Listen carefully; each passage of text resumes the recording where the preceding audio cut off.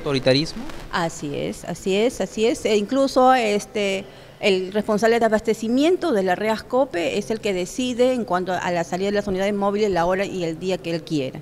¿No? Y esa es un poquito de inconveniente que tenemos con, con acerca con el responsable de abastecimiento, el joven Cristian de Ascope.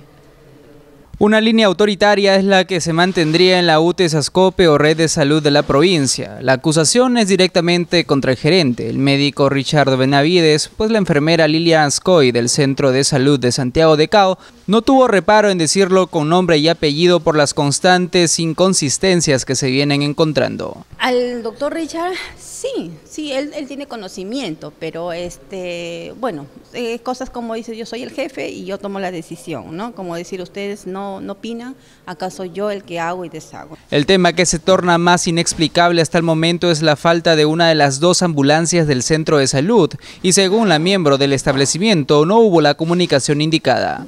Nosotros acá a nivel del Distrito de Santiago de Cao somos dos establecimientos de salud, que es Santa Rosa de Cartavio y Santiago de Cao. En, lo que es en, la, en el Centro de Salud Santiago de Cao tenemos dos unidades móviles, ¿no? en el cual han sido gestionadas por, el personal de salud, por la necesidad que tenían para hacer el traslado de sus comunidades para la atención. Entonces, este, una de las ambulancias está en la unidad ejecutora en Ascope. Eh, bueno, motivo desconocemos porque justamente se llevó sin conocimiento este, del personal de salud, ¿no? Eh, bueno, pues eso son cuestiones ya de abuso de autoridad que tiene nuestro, nuestro eh, responsable de salud acá en Ascope. ¿Se lo llevaron y ustedes no sabían que se lo iban a llevar? No, solamente comunicaron al médico y más no al personal de salud como, bueno, se, se, toma ese, esa, esa atribución el doctor. Lo sorprendente es que se habría visto a esta unidad móvil llevada supuestamente para que se le dé mantenimiento, deteriorándose en la intemperie en Ascope pero lo que la mira de las, de las unidades móviles, que es, bueno, acá Santa Rosa tiene también una ambulancia que ha sido canjeada por otra ambulancia, desconozco en esa parte de Santa Rosa, pero para nosotros el año 2014 mm, llegaron dos ambulancias para el distrito, uno para Santiago y uno para Cartavio, equipadas, equipadas para hacer traslado de emergencias con equipamiento de aspiradoras, balones de oxígeno, tensiómetros, este, mm, equipo de, lo que es este, de curación y para lo que es el mantenimiento de la ambulancia.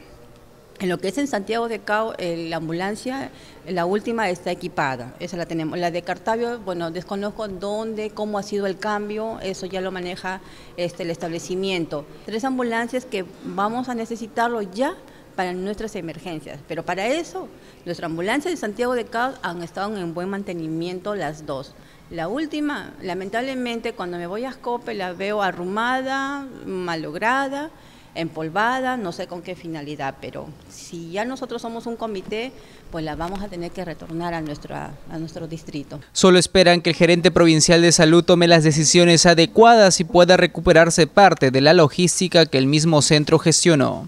Pero si ahora nosotros vamos a, reaperturar el hospital, ya es necesario que esas unidades móviles se desplacen a lo que es Cartavio y cada una va a tener que hacer el traslado de sus emergencias tanto de Chiquitoy, de Cartavio y de la misma localidad de Cartavio. Entonces, a nivel del distrito tenemos tres ambulancias.